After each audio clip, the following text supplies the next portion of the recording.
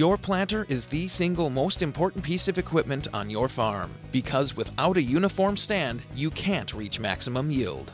That's why Harvest International set out to design a planter that takes advantage of the newest innovations in planter technology.